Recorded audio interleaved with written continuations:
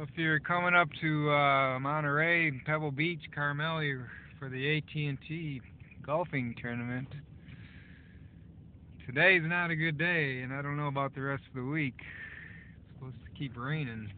It's pouring now on Tuesday. It's practice day. They won't be practicing right now. Maybe it'll clear up later this week. I don't know, but at the moment, it's not looking too good.